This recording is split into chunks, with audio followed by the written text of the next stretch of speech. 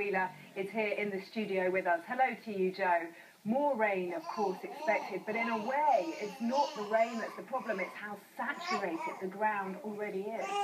Well, yes, if you look at the two different types of flooding that you have, you have flash flooding and ordinary flooding. Flash flooding is when you get a lot of rain very quickly, you get temporary uh, water cover on the road, and then with luck, it just disappears and goes away.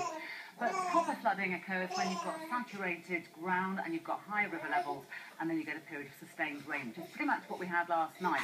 If you imagine this to be a full bath, and that bath, as the rain moves away, is one that we can't take the plug out of, then obviously any extra rain is going to cause a problem.